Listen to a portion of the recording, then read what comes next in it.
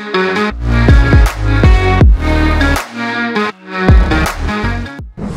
we are here with the incredible Diede de Groot. Great to meet you. How are you doing? Thank you very much. Um, it's lovely to be here. It's a lovely night, isn't it? I mean, it's great to see the tennis back at the Hurlingham Club for, for the Armani Classic. I mean, how are you feeling about this evening? Uh, it's so nice to be here, especially Yeah. for us. Uh, usually Wimbledon is like a one-week event.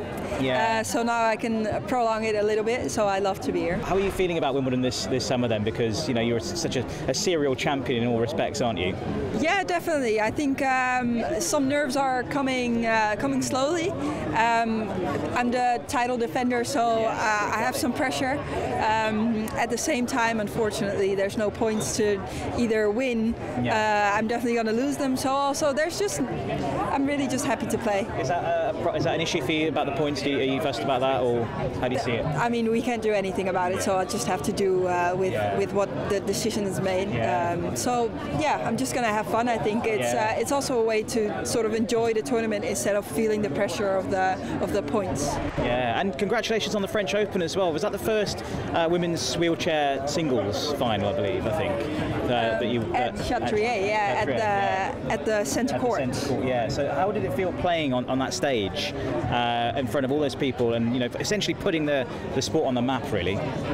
I there? think moments like that are, I think for us, really important. Mm. I also think that we're at this great time of wheelchair tennis at the moment where all of the tournaments, all of the big events like the Grand Slams, they're picking it up. They are helping us. They're trying to put it forward. Um, so things like that. And uh, also, yes, uh, last year uh, at Wimbledon, I got to I got to play on court court two. Um, so which is also like a center court, really big. Um, so yeah, things like that really help us, and I think it also is like a like a little bit of a confirmation that the tournaments are trying to help us.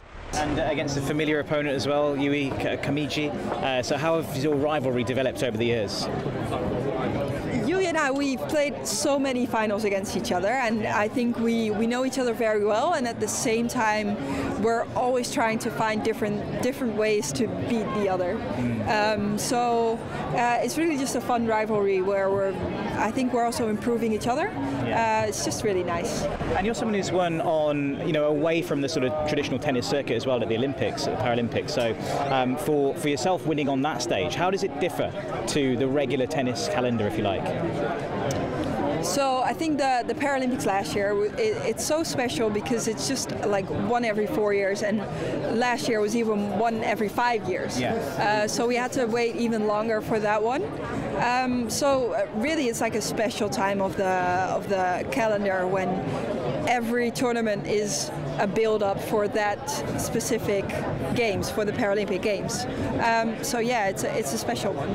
And for your hopes in the future in terms of uh, beating Esther Vergeer's record, is that something in your mind, or is it? It's a bit far, off at the moment, but is you got time on your side? Is it, is it something you're, you're aware of or bothered about? Or? a lot of other people around me are, Yeah. are definitely they have it in their heads Yeah, Uh, me myself not so much i try to just be myself um, also i think her records her um, career i think it was so special i think I, I mean I, I don't have the uh, the dream to really beat that like i think that should be something that's on itself um, and wherever grand slam i get to in the end is not going to affect anything of, of whether I was successful or not. Um, so yes, the thing she did was very special. And lots to look forward to for, for Wimbledon this this summer. Uh, who is your number one opponent? Would you say? Is there anyone that you're worried about facing? Or? I think there's a few actually. Um, uh, my fellow countryman Aniek van Koot, she uh, she's a very good slice player. Uh, she likes to, to play on the grass. Uh, I've, I've played against her in, in the finals a few years back, uh, so she's familiar with uh, playing the big matches on the grass as well. I've got Montjane. Uh, she's a very good slicer as well, so I think she's pumped for Wimbledon. Uh, played the final last year, so very good opponents. Diede de Groot, thank you very much, and best of luck this summer as well for Wimbledon. Thank you. Thank you very much.